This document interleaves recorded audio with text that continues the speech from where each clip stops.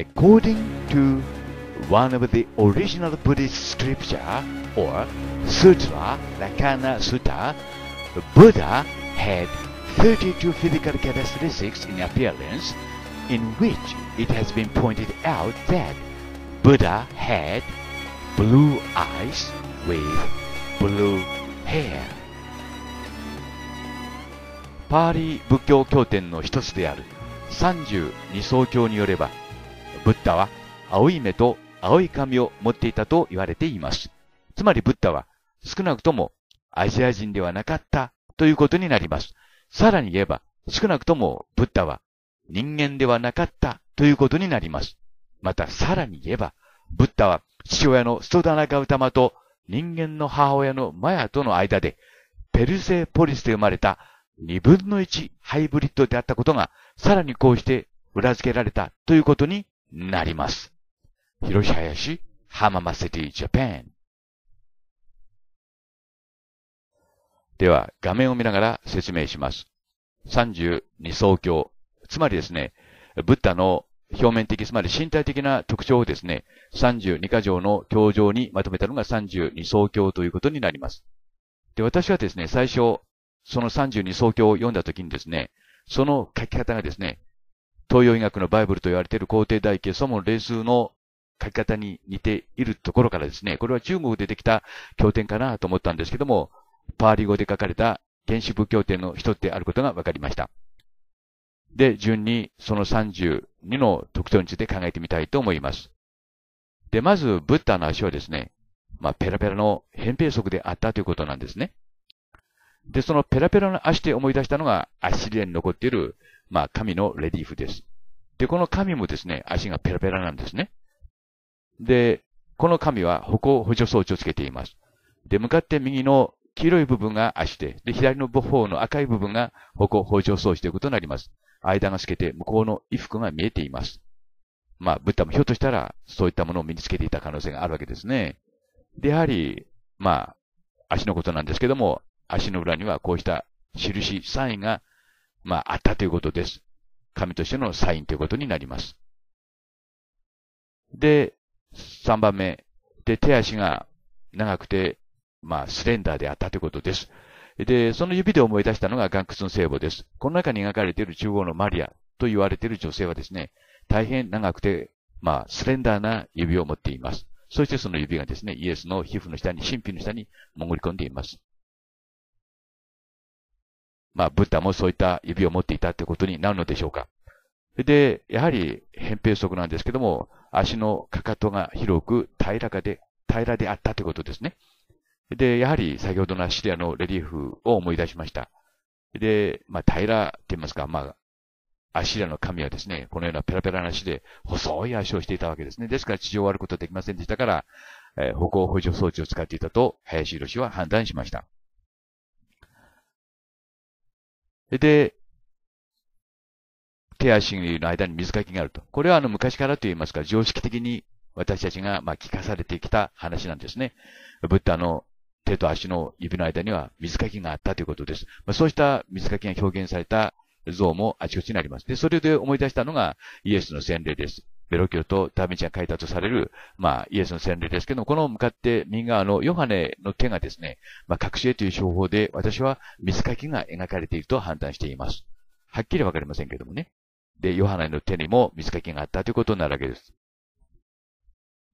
で、6番目。手足が柔らかで、そして真っ赤であったということです。まあ、ふくよかであったということなんでしょうかそして手が赤かったと。真空と書いてありますね。まあ、そういった手を持っていたということです。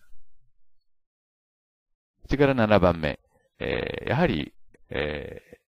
ー、扁平足ではあるんですけども、足の甲がですね、亀の背のように熱く盛り上がっていたと。まあ、これがさっきのアシリアの神々の足とはちょっと違うところですね。ペラペラというよりも、ここが盛り上がってたというふうに、まあ、ここに書いてあります。で、7番目にね、今度8番目です。で、8番目は、足、足のふくらはぎ、ふくらはぎがですね、丸く、まあ、なってたと。で、これはですね、ひょっとしたらですよ、あの、歩行補助装置を見誤ったんではないのかな、というふうにも考えられます。まあ、それはわかりませんけども、まあ、足調べでこのようなものがありますからね。で、ブッダは二分の一ハイブリッドですからね、その動画をこの後につなげておきます。で、直立した時にですね、え、手がですね、腕が長くてですね、膝まで届いたっていうんですね。で、これがまあ、あの、ブッダの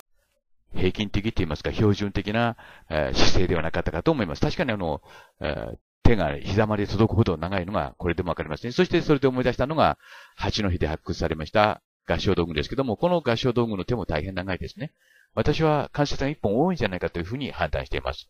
えー、殿下で見つかった同じような像も、やはり手が長いです。で、10番目がですね、これがですね、えー、高彩さん、818さんからいただいた情報なんですけども、どうもそのブッダはですね、まあ、弾痕の部分がですね、体の中に入り込んでいたんではないかということなんですね。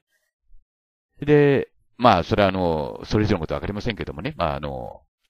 32総教によればそういうことになるわけです。で、それで、まあ、ちょっと比較してみたんですけど、右の方がですね、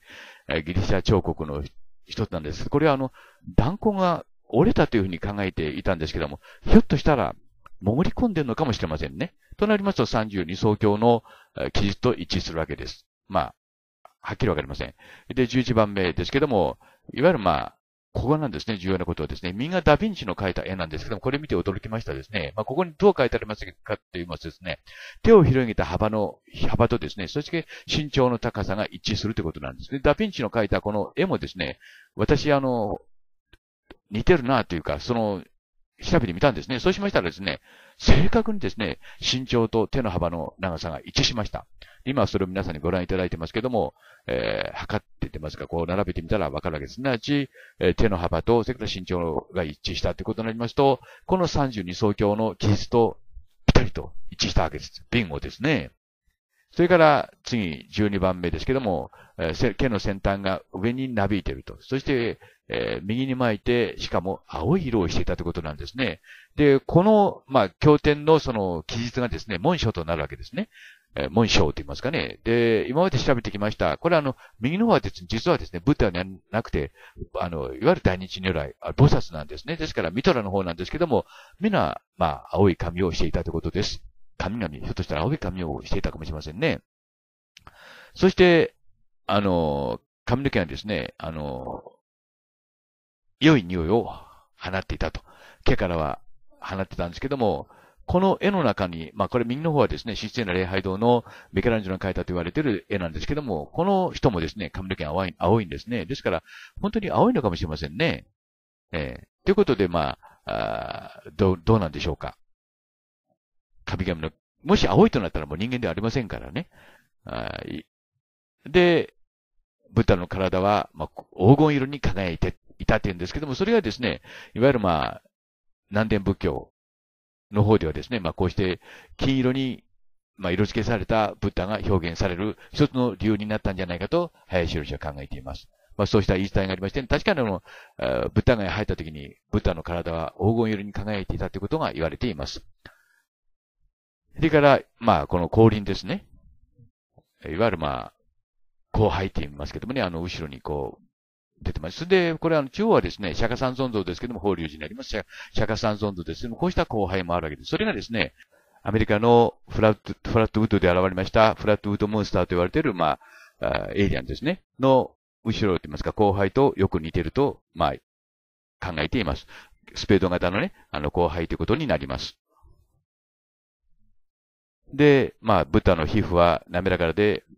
まあ、汚れていなかったということになります。で、まあ、そういうふうに言い伝えられているということになるわけですね。で、17番目ですけども、えー、まあ、肉のつき方がふくよかであったということになるわけですね。えー、美しく清潔で、そしてプランプであったと。まあ、この訳は私がつけたんですけども、まあ、要するに、ふくよかであったということなんですね。で、一方、あの、苦行中のブッダだけはガリガリですよね。あれはあの、ブッダではなくて、父親の、えー、ストダナゴータマであると、林博士は判断しています。で、まあ、要するに、仏教は父親のストダナマゴータマが作り、息子のセタータゴータマ、すなわち、シッタルタゴータマが広めたというふうに林博士は考えています。バイ林博士説です。で、脇の下にね、肉がなくて、くぼみがなかったというふうに書いてあります。これどういうことかよくわかりませんけどね。これ中央がガリガリの、いわゆる空中の豚ですけど、これはスダナゴータマということになります。お父さんです。ペルセポリスの2番目のマギということになります。えー、ミトラの誕生の時に駆けつけています。で、両側が、これ息子のセダルタ・ゴータマ、すなわち、シダルタ・ゴータマ、すなわち、私たちがブッダと呼んでいる方です。で、上上半身に威厳があり、まあ、獅子王のようであったと。まあ、威厳があったということですね。まあ、実際あの、ブッダガへ入った時、民衆は、ブッダの姿に圧倒されたというふうな、まあ、説話も残っています。まあ、このように、ね、体中が輝いていたということです。えー、20番目ですけども、えー、体がですね、大変まあ、ハンサムであったということです。で、まあ実際まあそのように仏像が彫られることが多いわけです。で、両肩の層が丸いということは、私はこれね、あの、撫で型スローピングショルダーだというふうに考えています。で、まあ、あの、中世以降ですね、まあ、こうした絵が描かれているんですけども、こうした、まあ、普通でない、よというと失礼ですけどね、普通でない撫で方の人が描かれることが多いわけですね。えー、モナリザの方も、えー、異様な撫で方ですし、向かって右側のワシントンの方も、まあ、異様な撫で方であったことがよく知られています。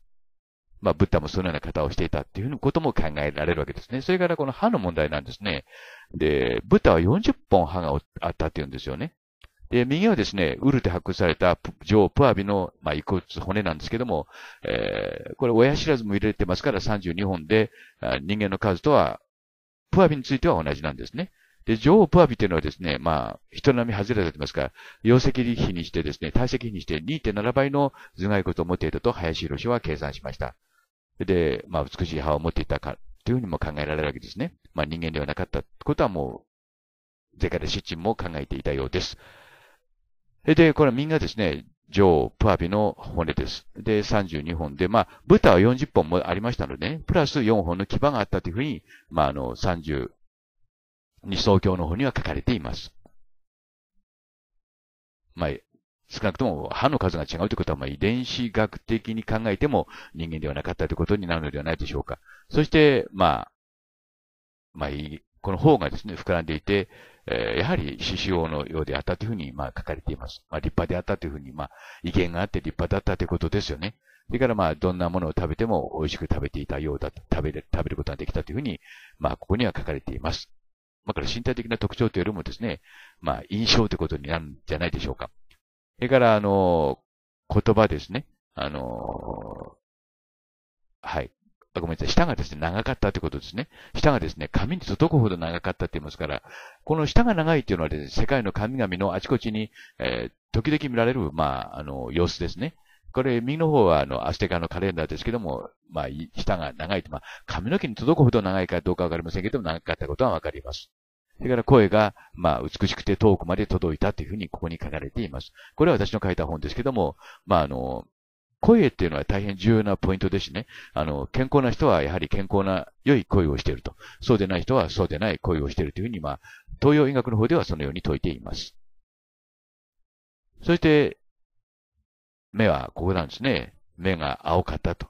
ロータスのように青かったというふうに、まあ、ここに書いてあります。これが一つの決め手になりますね。嘘で書けるような話じゃありませんからね。目が青かったということになりますと、少なくとも豚はアジア人ではなかったということになるのではないでしょうか。で、これ下、青っていうのはグリーンですけどもね。グリーン、まあ、色とか、あの、匂い、匂いなんかは、まあ、もちろん残ってませんけども、音っていうのはですね、いわゆるまあ、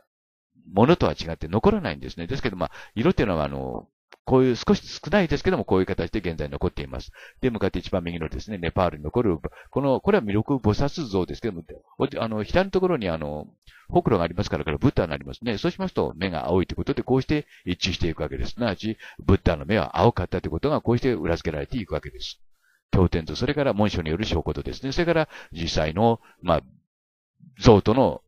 符号性がここでできているわけですね。この眉毛なんですけどもね、まあ眉毛が、まあ、牛王の牛ようであったって、まあ、立派で、立派な長いまつげをしてたってことなんでしょうかね。まつ、まつげです。それで、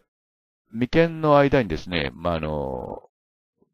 まあ、隆起して、えー、頭のてっぺんがですね、隆起して、その、まあ、なんてますから、独特な頭をしてたんですけど、それが私はですね、こうした団子で表現表現されてるんじゃないのかなと思いますけどね。それから、その、眉間の間に、右巻きの、右巻きの白毛があって、白い毛があってですね、で、光明を放っていたと。で、伸びると、まあ、1乗5尺もあったって言うんですけどもね。しかし、はい。どうなんでしょうか。まあ、そういった特徴もあったというふうに書いてあるわけです。で、結論を言いますとね、重要なポイントは2つなんですね。一つは目が青かったということと、で、もう一つは髪の毛が青かったということなんですね。で、目が青いということになりますと、まあ、アジア人ということは考えられないわけですね。あの、目が多かったということなんですね。まあ、あの、アジア系の人の中にはたまにですね、青い目の人が生まれることもありますが、で、下にですね、あの、先ほど言いましたように緑の目を集めていましたけども、緑の目とまた区別して考える必要があると、林博士は判断しています。で、一番右がですね、ネパールに残る、ブッダですね。額にやっぱりほくろがありますからね。このブッダの目も青いです。で、目の両側がですね、赤いところもちょっと注意してくださいね。これはあの、バクオクツの、まあ、ミルク菩薩像と一致するところです。そしてもう一つ重要なところは髪の毛がやっぱり青かったということですね。で、髪の毛が青いとなりますと、これはもう人間ではないというふうに判断して良いのではないでしょうか。あのはい。で、これはあの、みんな菩薩像なんですけどもね、やはり髪の毛がですね、まあ、美しいコバルトブルーの青で表現されることが多いですね。で、右下はこれはあの、小屋さんの今後無事の大日如来像ですけども、やはり髪の毛がコバルトブルーに表現されています。この、こういう点からですね、まあ、重要な点はですね、ブッダは青い目を持っていて、そしてコバルトブルーの美しい、まあ、なんて言いますか、髪の毛を持っていたということになります。で、もう一度ここを見ていただきたいんですけども、えー、髪の毛が美しい、えー、色をしていたということですね。はい。そして、まあ、それと同じものがですね、えー、シスの礼拝堂の天井画に描かれていると。で、まあ、あの、こういう形でですね、この人は人間ではないということを表現したんだろうと思いますけどもね。あの、髪の毛がやはり青く打ってますか、右の方はですね、あの、髪の毛かなっていうふうにまあ少し迷ったんですけども、まあだんだんあちこちから一致していきましたので、私はやはりこれ髪の毛は青かったというふうに判断しています。まあ、神々の一つの特徴ということになるわけです。まあ、続いてですね、えブッダ、すなわち、セッタータ・ゴータマと、それからお父さんのセダナ・ゴータマの謎についての動画をつなげてえ、ご覧いた、もしよろしかったらご覧ください。えそれでは皆さん、バイ for now.